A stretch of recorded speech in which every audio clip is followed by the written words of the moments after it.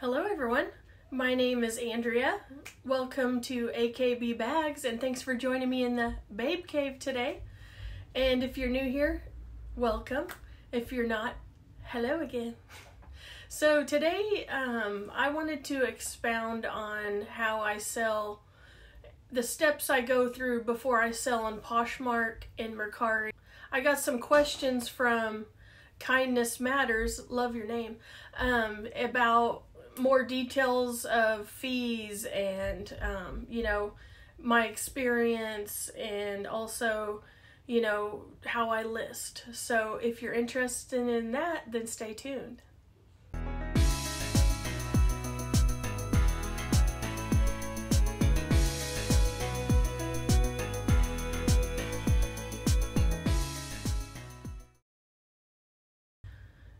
So I'm just going to start from the beginning on it when I'm deciding whether a, an item needs to go. And I've sold shoes, I've sold handbags, of course, I've sold wallets, I've sold pants, jeans, I, you name it, I have sold it on these Poshmark um, and Mercari, both.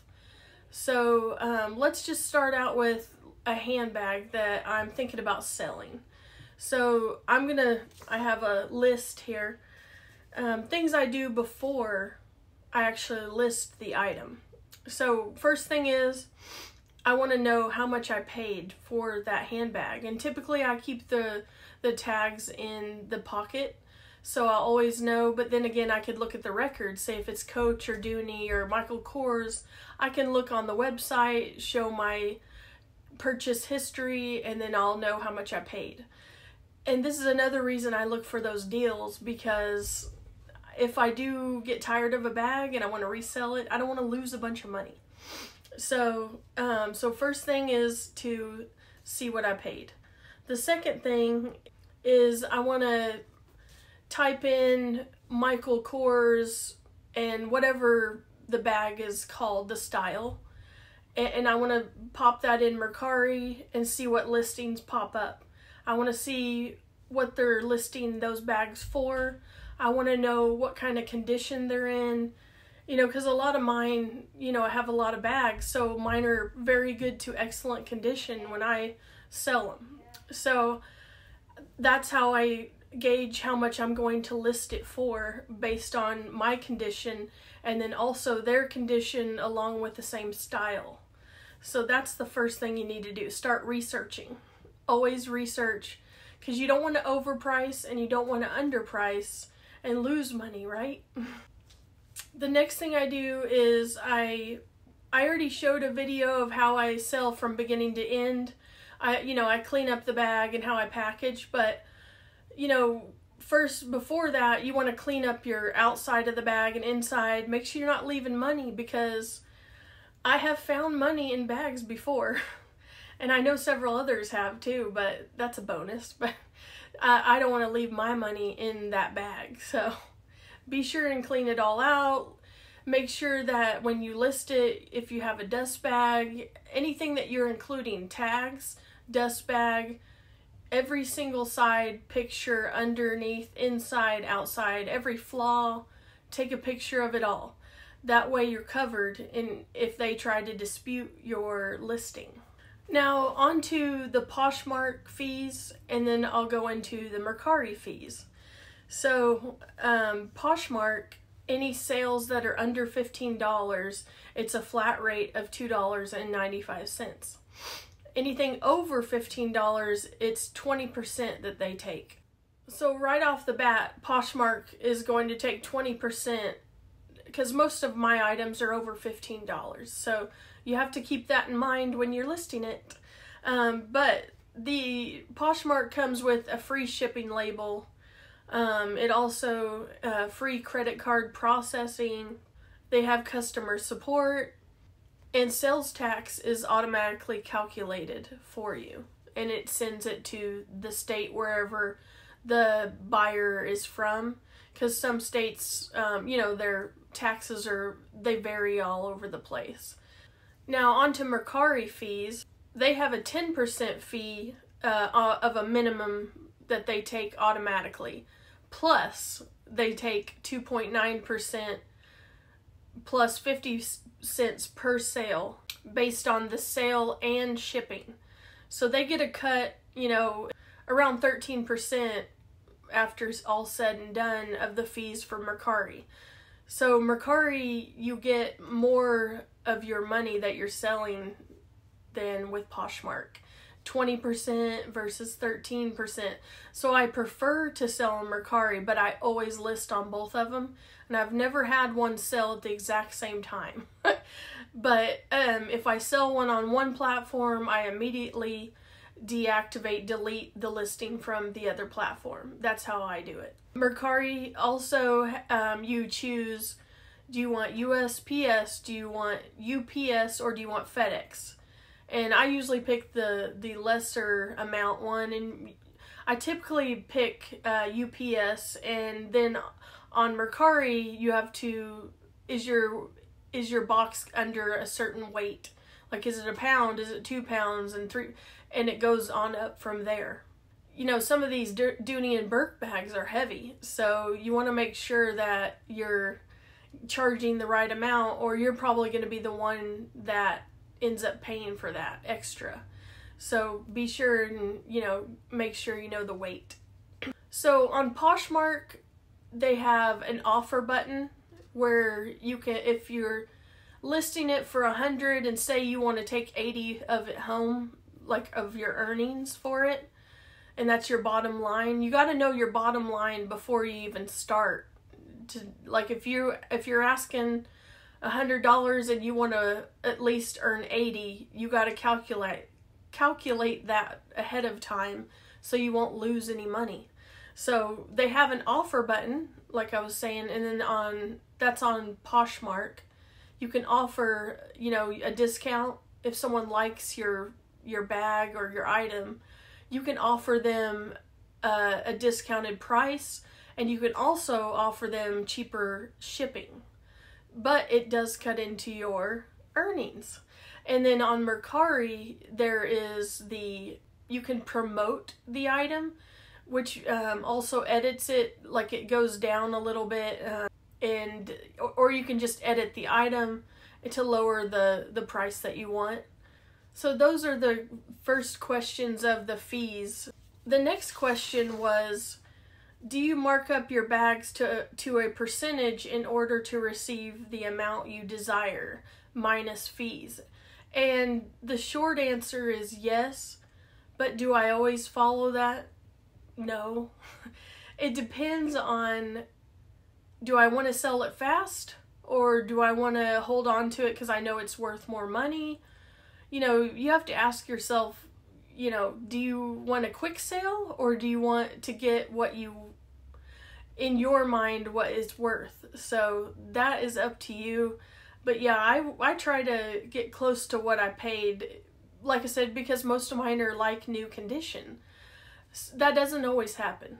Um, but you know, you live and learn. I've I've had I'll get into that in a minute, but I've had a lot of sales and um, like it, the thumbnail, I've made over $4,000 of extra money selling different things. So yes and no on do I mark them up? Primarily yes. Have I had any bad experiences selling my items? Bad experiences? No, not really. Um, have I gotten a few four star ratings out of five? I've had a few of those. I had a recent sale of a Dooney and Bourke bag. I carried it a handful of times, pristine condition, hardly used. I had stuffing inside of it, and they bought it, and then they uh, tried to dispute it on Mercari. I don't know if I mentioned that. It was on Mercari. They tried to dispute it, saying that the bag smelled, and the bag never it, it wasn't a vintage bag it was a, maybe a few years old but i would have smelt an odor myself because i have a very high sense of smell but yeah and so they disputed this and wanted to send it back which kind of irritated me so that's the first time that's really happened to me because i disclose everything and if it's in fair condition i will tell you it's in fair condition so they disputed it and Mercari actually sided with me.